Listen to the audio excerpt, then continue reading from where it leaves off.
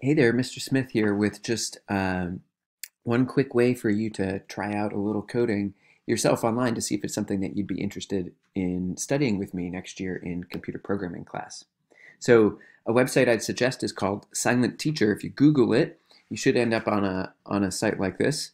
It's got a um, live footage of what happens to me after I spend too much time uh, lecturing in the classroom.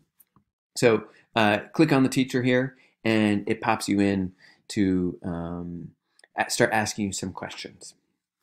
So uh, the way you interact with this website is just by answering the questions.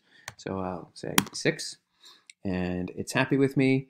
Uh, that uh, now I take take a guess. Um, it's not going to tell me anything, right? So I've got to just sort of take my best guess. Um, I don't know what the star means, so maybe it also means plus. So I'll type seven, uh, and it tells me uh, no go. Uh, so I get to take, take another guess. Uh, maybe it means multiply. So 2 times 4 would be 8. And there we go. It was happy with that. Gives me another practice problem, which is nice. Um, and then it tells me that I completed the first level and moves me on to the next level with some more questions.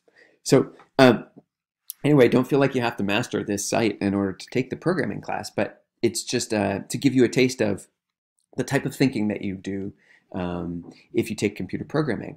So I'll leave it here um, for you to continue trying this out on your own.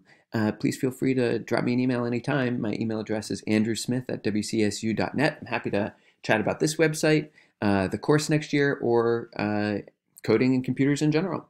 Okay, have fun. Bye.